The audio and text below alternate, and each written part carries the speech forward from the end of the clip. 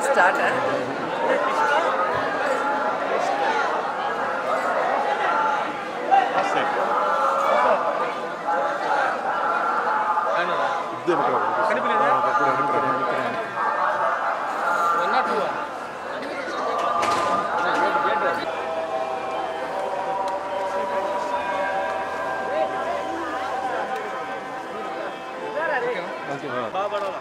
Thank you.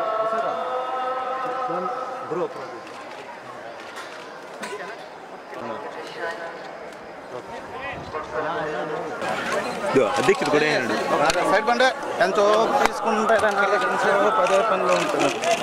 తీసుకోవాలి. Okay వెనక్కి తీసుకొని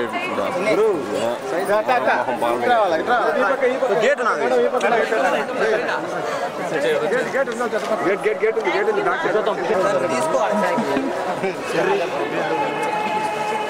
ఎప్పుడూ లేనటువంటి విధంగా టీటీడీ పాలక మండలి ఈరోజు వివాదాస్పదంగా మారటం అనేది చాలా దురదృష్టకరం. ఇప్పటికైనా ముఖ్యమంత్రి చంద్రబాబు నాయుడు గారు నోరు తెరిచి వీటి మీద ఒక క్లారిఫికేషన్ ఇవ్వాల్సిన అవసరం ఉంది. ఎందుకంటే హిందువుల మనోభిప్రాయాలు దెబ్బతినే విధంగా మరి ఆయన వేశారు అనేది టీవీల్లో వచ్చేటప్పుడు అది ఎందుకు వేయాల్సి వచ్చింది? కారణాలు ఏంటి అని చెప్పాల్సిన బాధ్యత కూడా చంద్రబాబు నాయుడు గారి మీద ఉంది. మీరు చూస్తే ఎప్పుడు కూడా హిందువుల మనోభిప్రాయాలతో చలగాట మాటమే పనిగా పెట్టుకున్నారు చంద్రబాబు నాయుడు. గతంలో చూస్తే మరి ఏ విధంగా విజయవాడలో పవర్ఫుల్ గుళ్ళన్నీ కూడా కూల్చి మఠాధిపతులంతా కూడా రోడ్డు మీదకి వచ్చి మరి ఆ దేవాలయాల్ని కాపాడటం కోసం పోరాడాల్సి వచ్చింది. అలాగే చూస్తే దుర్గగుడిలో కానీ కాళహస్తిలో కానీ క్షుద్ర పూజలు జరిగాయని సీసీ ఫుటేజ్తో పాటు మరి ఛానల్స్లో వచ్చింది చూసి ఎంతోమంది హిందువులు చాలా బాధపడిన విషయం మనకు తెలుసు. కానీ ఏ రోజు కూడా తాను హిందువుల మనోభిప్రాయాలను దెబ్బతీస్తూ వాటికి క్లారిఫికేషన్ ఇవ్వకుండా కేర్లెస్గా ఉండటం అనేది సరైన పద్ధతి కాదు. ఇప్పటికైనా ఈ టీటీడీ పాలక మండలి మీద వస్తున్న ఆరోపణలు కానీ లేదైతే జరుగుతున్న గొడవల్ని దృష్టిలో పెట్టుకొని వెంటనే దానికి ఒక క్లారిఫికేషన్ ఇచ్చి మరి హిందువుల్ని గౌరవించాలి హిందూ దేవాలయాల్ని గౌరవించాలి చంద్రబాబు నాయుడు గారని ఈ సందర్భంగా తెలియజేసుకుంటున్నాను. ఈరోజు చాలా దురదృష్టకరం ఏంటంటే ఇరవై ఏడు సంవత్సరాలుగా నేను ఇండస్ట్రీలో ఉన్నాను నైన్టీన్ నైన్టీ వన్ నుంచి.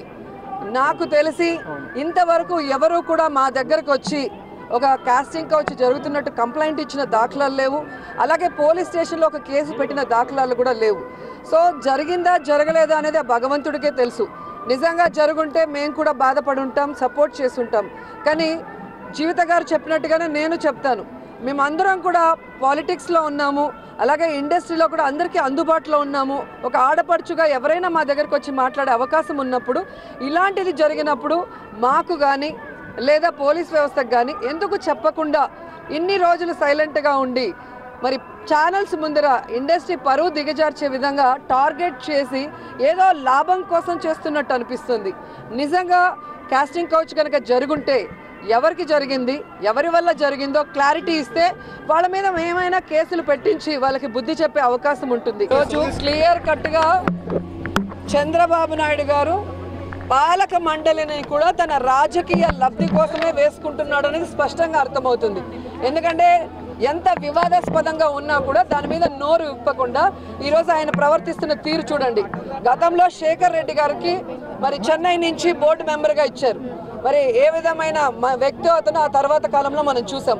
ఏ లబ్ధి కోసం ఎవరి రికమెండేషన్తో శేఖర్ రెడ్డి గారిని వేశారో కూడా మనందరికీ తెలుసు. అలాగే ఈరోజు మహారాష్ట్ర ఆర్థిక మంత్రి భార్యను వేశారు అంటే మరి ఎవరి రికమెండేషన్తో ఏ లబ్ధి కోసం వేశారో చెప్పండి.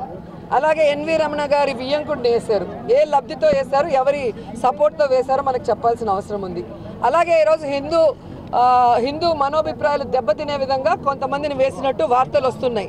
సో అవి ఎందుకు వేశారో క్లారిఫికేషన్ ఇవ్వాల్సిన బాధ్యత చంద్రబాబు నాయుడుకు ఉంది. లేకపోతే ఖచ్చితంగా వెంకటేశ్వర స్వామి కోపాన్ని ఆల్రెడీ ఒకసారి చెవి చూశాడు.